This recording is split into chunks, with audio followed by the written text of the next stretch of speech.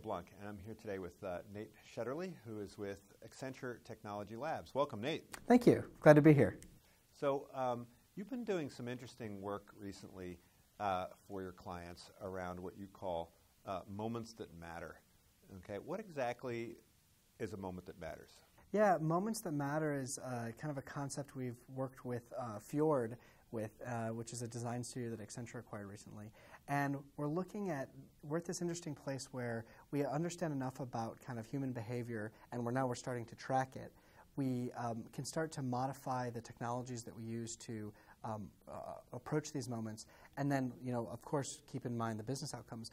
But these moments that matter are um, situations where uh, we can really start to um, customize that moment and make it so that it really turns into a living moment. So if you think about you know something traditionally you would think about insurance or something like that, where they're going to track these really, really important moments to you know get you early on, and then you know when you buy a house, make sure you finance with them. But those are really treated in broad categories. Um, you know this is taking a lot of the um, advancement in kind of personalization to the next level, where it's not only personalized to that person, but also to the context around them. Yeah, I guess I'm interested in the uh, kind of enterprise enterprise context, right? Because mm-hmm. um, for every process uh, within an organization, there are individuals that are making decisions, and I think uh, you were saying that um, what we know about behavioral economics uh, has has changed the way we have to think about designing these processes. Yeah. So if you think about um, you know, uh, I, in the class we just mentioned, uh, Nudge is a, a great book, um, Richard Thaler, and talking about um, all of the behavioral economics pieces on how people make decisions.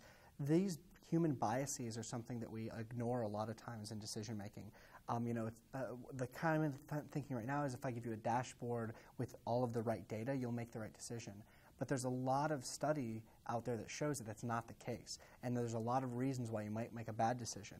Um, and so looking at those uh, cognitive biases and accounting for those in the uh, decision interfaces or the, the user experiences we create, um, I think has a, large opportunity to create efficiencies and value in enterprise. But isn't that sort of the whole point of uh, artificial intelligence and kind of automating decision making uh, to kind of get rid of a lot of the uh, biases that might lead to bad decisions? Yeah, it's an interesting point. With artificial intelligence, you know, we look at that in kind of two categories: uh, everything that's automated, and then everything where you're augmenting a human decision. And even with the automated side of the world, uh, you know, someone's creating that algorithm and that and uh, the computation behind that, and those people themselves have bias, as well as the data might have bias from where you're collecting it. So understanding those biases are important in the um, automated side of the world. But really, what um, you know we're focused on and looking at here is on the side where there's still a human in the loop for some reason, whether the technology is not there yet um, or whether people are just more comfortable. Um, by understanding the bias of them and their situation, we can actually lead to better decisions. Uh, and so, even with those, artif- I think that the artificial intelligence technology is really what makes this possible at this point.